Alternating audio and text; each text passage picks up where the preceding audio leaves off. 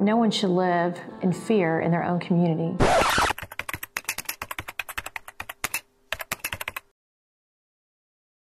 I think the district attorney needs to be proactive so they can gain that level of trust again between law enforcement and the community.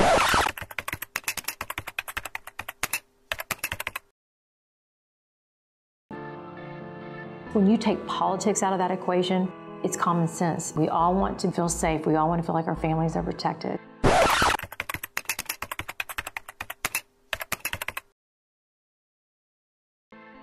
Whether you're a Republican or a Democrat or independent, your job as a district attorney is to seek justice.